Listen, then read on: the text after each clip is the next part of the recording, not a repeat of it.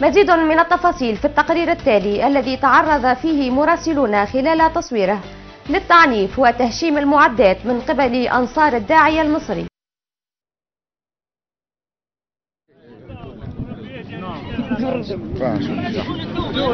أنتم معلش رافعين اللافتات هذه. نحن ممثلين الجمعية زوج جمعيات في مهدية منها جمعية الفكر الوطني الحر. أه نرفض استقبال الذي الضيف استدعوه بعض الأطراف في المهدية واللي هم يمثلوش مهدية الكل واللي ما يمثلش اللافته المعلقين هما. اهالي المهدية ترحب. تونس دولة منا إسلامية إسلام واحد مذهب واحد. ما ما عندناش الاختلاف هذا المفروض نتفقوا. وهذا فهمت الله نوجه كلمة للأولياء نتاعهم باش يوعيوهم باش يفهموهم راهو راهو إحنا مسلمين. راهو إحنا نتمشاو مع مع مع التمدن. بقينا الإسلام واحد والإسلام لابد منه. راهنا مسلمين مع انه ماشيين الإسلام هذاك ضروري لابد منه. تونسي قاعد يموت في عين دراهم وإحنا نخسروا في الفلوس ونجيبوا في الناس باش يعلمونا الدين نتاعنا وإحنا الدين نتاعنا باهي. أحسن ديننا باهي راهو في تونس ما عندنا حتى مشكلة مع الدين. كلنا مسلمين كلنا نشاهدوا. علاش؟ باش بالصفه هذه باش نفرقوا ما بين التونسي والتونسي. علاش؟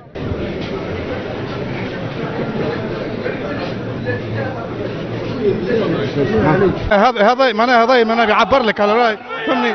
هذه هذه حوايج معناها تخليك عندنا صلاة وعندنا وقت ما زالش المغرب. موقف موقف من يساير دقال دقال دقال دقال دقال دقال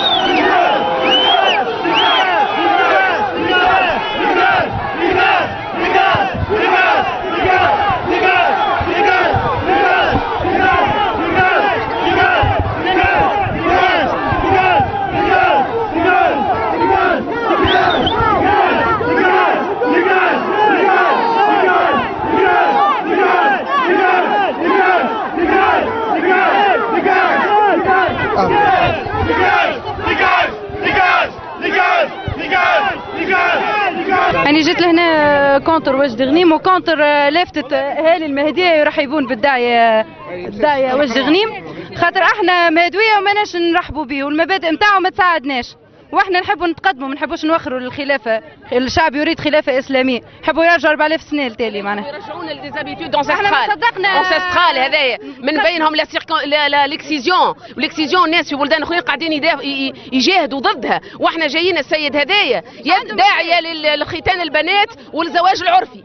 يعني إحنا تو المومون نتاعنا هذايا معناها ناقصنا باش مشاكل كيما هذه إحنا حاجتنا باش نحلوا مشاكل نتاع الجوع والفقر والتهميش والبطاله مش باش نحكيو في مشاكل ختان البنات ونرجعوا للقرن ما قبل التاريخ مش معقول مش معقول وهذا ما احناش متشرفين به إحنا المدويه لهنا في البلاد إيش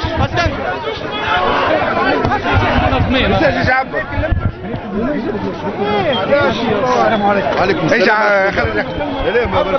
بارك الله فيك عاش خويا بارك الله فيك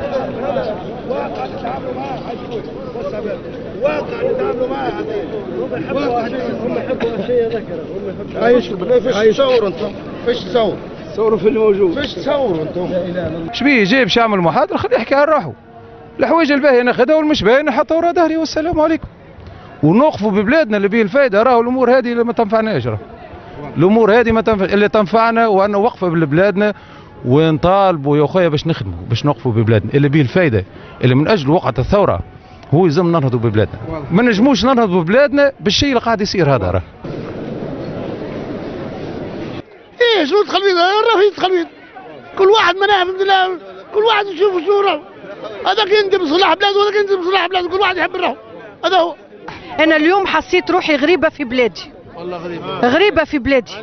هذايا منظر عمري ما كنت نتصور باش نراه بكيت اليوم على جماعنا بكيت على رجالنا بكيت على بكيت بكيت على جبايبنا القمراية جبيت على جبايبنا سكروته شو هالمناظر هذا شنو هالاسلام اللي يدعيوا عليه؟ شنو هالشيء اللي يدعيوا عليه؟ هذم علامات كحول يجيبوهم لنا نتاع شعب نتاع واحد. تفيقوا. يا حكومه فيق يا عباد فيقوا يا ناس فيقوا راكم غرقتوا راكم تأفغنتوا راكم تأيرنتوا راكم مشيتوا في هاوية راكم تبكي. اليوم نبكي على المهدية بدموع الدم. عام 66 أنا واقفة هنا منظر آخر ورونق آخر. هنا الدنيا ولات ظلام في ظلام. أكحل في أكحل. سواد متاع قلوب متاع عباد. يا ناري على تونس. أوه على تونس أوه.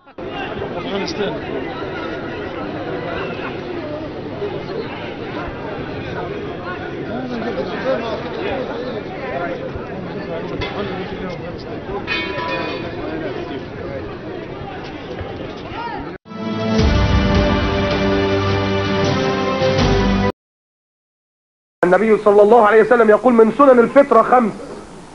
الختان طبعا. ختان الراجل ده واجب ده مفيش نقاش. لكن المرأة مكرمة. وما أشبه كلمة جميلة يقولوا أخواننا الدكاترة. يقولوا الختان للمرأة بنشبهه بإيه؟ نقول يعني عندنا ك- كإخوة يعني نقوله عمليات تجميل. يعني الختان عملية تجميل. تجميل. لكن في ختان للمرأة آه اسمه مكرمة. وسيدنا النبي عليه السلام قال لها اقطعي ولا تنهكي. طلع وزير الصحة يقول لك لا مفيش ختان. طب انت شيخ انت بتتكلم في الدين؟ انت بتتكلم في الدين؟ ولا دي مقررات مؤتمر؟ السكان. ما دي مقررات مؤتمر السكان. فاكر؟ ها؟ آه اللي قرروه في مؤتمر السكان لازم يتنفذ. بس واحدة واحدة ما هم ماشيين على الم- المثل الإنجليزي. سلو بات شور يعني واحدة واحدة لكن إيه؟ أكيد. آه هيتنفس هيتنفس واخد بالك؟ إنما الراجل آه في ختان اللي بيحب سيدنا النبي يقص ضوافره ما يجي